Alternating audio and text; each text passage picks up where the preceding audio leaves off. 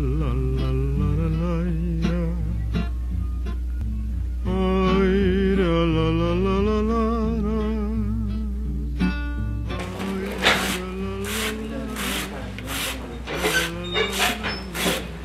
Con una prensa, una máquina de coser y ganas de trabajar para sacar a la familia adelante, es como don Amador hace 35 años empezó con la elaboración de sombreros de palma, producto característico de la artesanía de Chilapa.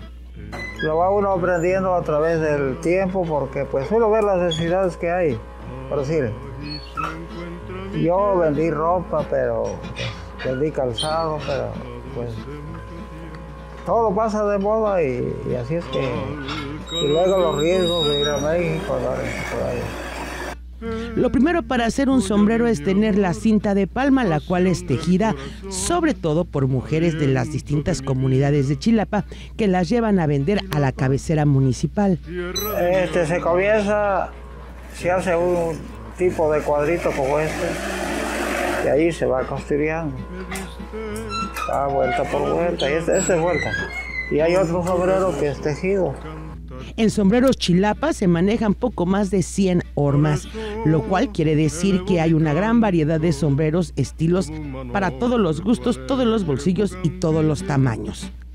Roabacas, rodeo, aquel es gallero, este, Alicia Villarreal, Chihuahua. Ay, ¿cuál es el de Alicia Villarreal? Este acá. ¿Cuál? Ándale. Nada más le falta a uno las trenzas. También en este taller se hacen los sombreros para cada baile tradicional de Guerrero y de otros estados. O se puede utilizar como para tlacolero, que varias se le, se le, hace una costura. No, este le, lo va así, se le quita.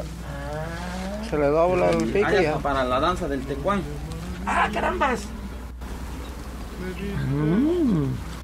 Este negocio es familiar, hijos de don Amadeo, nietos, bisnietos, todos tienen una participación en la producción de sombreros de palma. Me cuenta mientras recorremos todo el taller hasta llegar a la azotea, donde tiene más hormas de metal.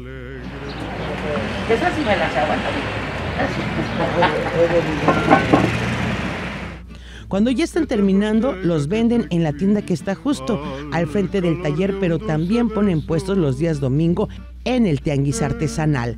joya de mi amor, pasión del corazón.